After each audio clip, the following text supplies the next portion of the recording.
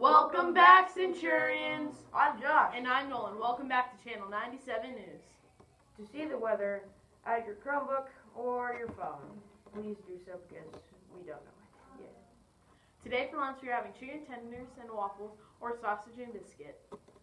On this day in, in 1838, Samuel Morgan's telegraph system is demonstrated for the first time at Speedo, Speedwell from the works in Morrison, New, J- New Jersey.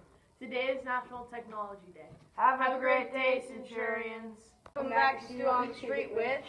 What grade are you in? Eight. What's your favorite sport? Football. What's your favorite NFL team? Seahawks. What's your favorite food? Thank you. Welcome back to the joke of the day. So, why was the snowman sad? Because he had a meltdown. Okay.